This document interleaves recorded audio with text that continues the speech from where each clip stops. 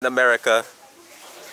This is my friend. Say hello to everybody in America. Hello. So bonjour. Bonjour les Américains. this is my new friend. That's my new friend Sanufu. Sans faux. Sanfu. That's my friend Sanfu. Okay, say bye to everybody. Bonsoir, c'est faux. Oh,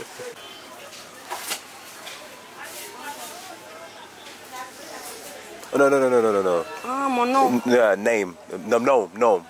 Mon nom, non. Mm, mm.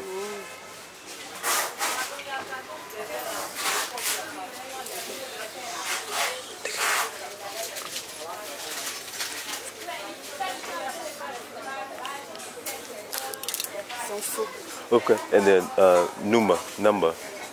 Oh, My bed, uh huh.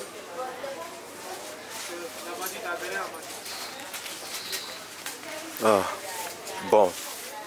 Okay. Merci. Thank you. Uh-huh. Y'all saw me in my uh, my international pimping uh, over here in Ivory Coast. So I got the number. She don't speak no English, but it's okay. We're gonna figure it out. Okay, I'm back.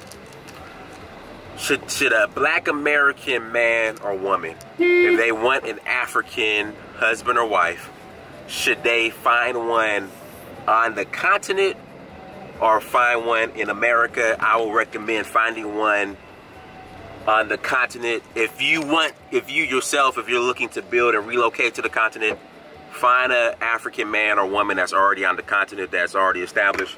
Because the ones in America, for some reason, they just, you know, they have so much unfinished business to take care of.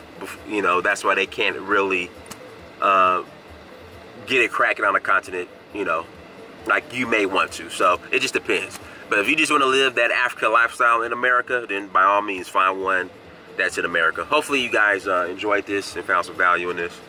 You know, again, I think this format is better versus answering the same questions over and over uh, by email. So, like I said, headed to the airport in Ivory Coast, Cote d'Ivoire, about to catch a flight to uh, Nigeria. All right, everybody, Dynast Amir, search for Uhuru. Peace.